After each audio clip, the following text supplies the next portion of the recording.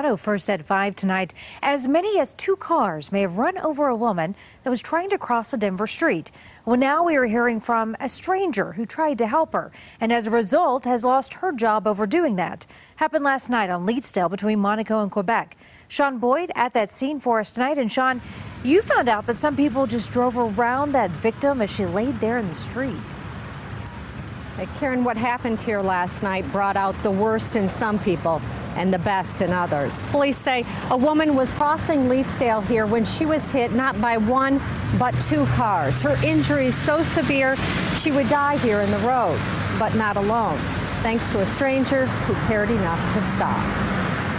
I just was trying to say anything to comfort her. I just told her not to leave yet. Averia Balderas still doesn't know the name of the woman she saw lying on the side of the road after being hit but she can't stop thinking about her. You ain't got to know somebody to help them. I mean, I ain't got much in this world, but I can at least give a hand. Which is what she did Thursday night. As other cars drove around the woman's body, not stopping to even check on her, Balderas got out and started CPR, eventually joined by another woman. And just if you see somebody hurt in the road, if you see somebody, something happening, don't drive off. Don't leave them like that.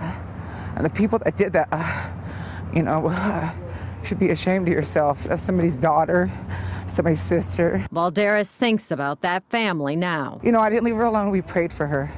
I don't, to make sure I just, she heard, at least she heard that as her last moments. Heard that somebody cared. I'm sorry I couldn't do more. I'm sorry I couldn't save her. One of the cars that hit the woman stopped at the scene, the other a short distance away.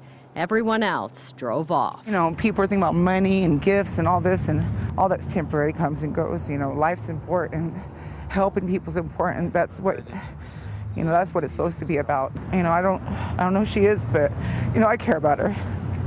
I'm sorry she's gone. They say no good deed goes unpunished, and Balderas is looking for a new job tonight after she went into work last night covered in blood and shaking and her boss didn't want to give her the night off. Tonight, police released the name of the victim, Dominique Amos. She was 18 years old. They have identified both of the drivers but have not charged anyone at this point as the investigation is still underway.